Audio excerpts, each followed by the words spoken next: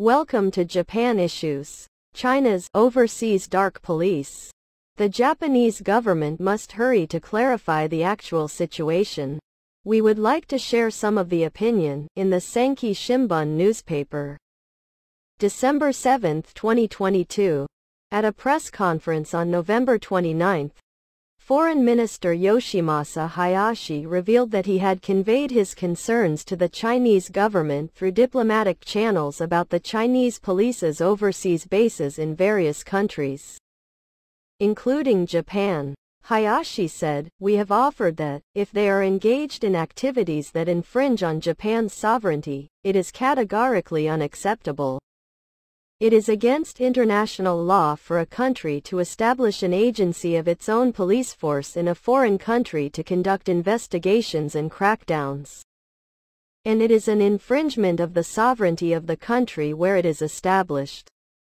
In a report, a Spanish human rights NGO, non-governmental organization, noted that China has established dozens of overseas police bases in 30 countries, including Japan, the United States, the United Kingdom, Germany, Spain, Ireland, and Canada, to crack down on and monitor Chinese citizens.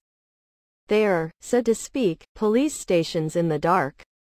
According to the report, the Central United Front Operations Department of the Chinese Communist Party, which is tasked with foreign operations, is involved, monitoring overseas Chinese who criticize the communist regime, threatening them to stop their anti-establishment activities, and pressuring their families in China to persuade them to return home.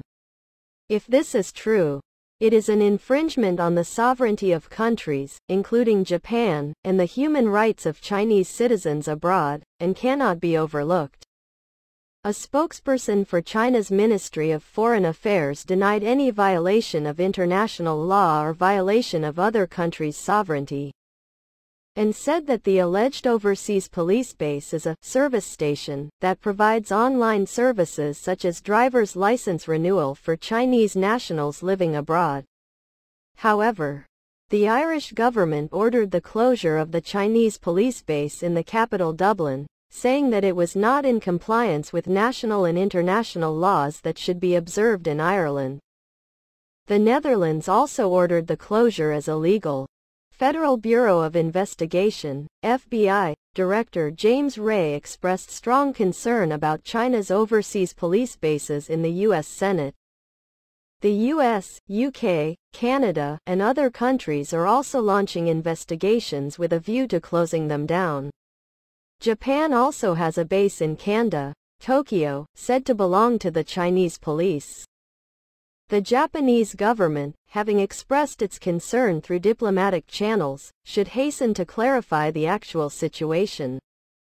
It must also investigate whether there are other bases in addition to this one.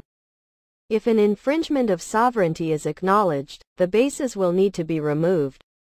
In Tokyo also, Chinese people held a white paper demonstration to protest the Xi Jinping administration's zero COVID policy and other measures. Protests by ethnic Chinese minorities have also continued in Japan.